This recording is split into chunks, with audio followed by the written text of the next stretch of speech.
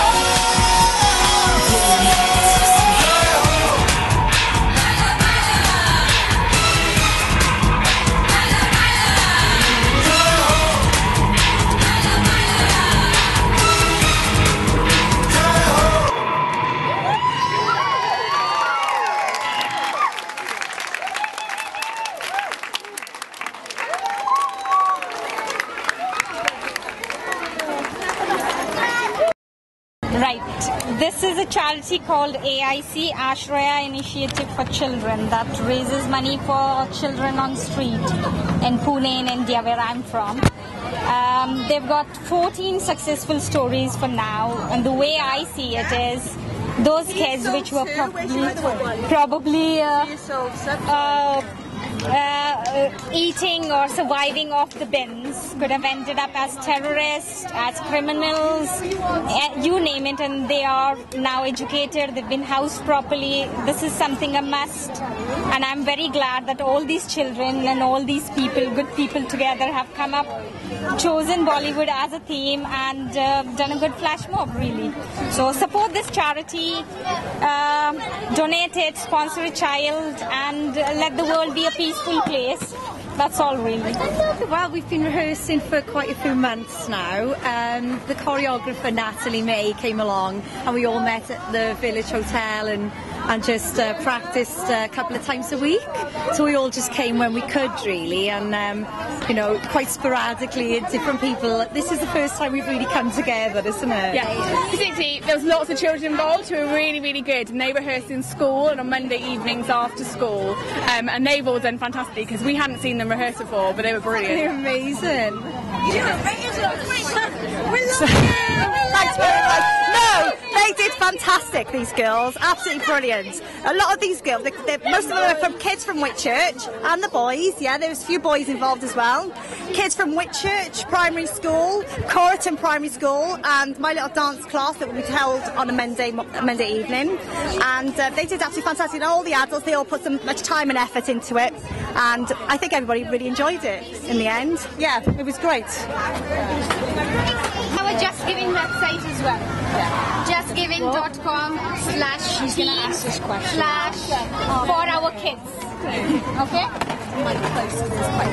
In our school, we um, every, every Monday we practice. Yeah, we would go to the hall and practice the dance. Um, do that. Have you done dancing before? Um, yeah. What's it called? I don't know. It's charity. Charity. It's what? So we went. We went around with these um, trying to get money to raise for the the, charity. Yeah.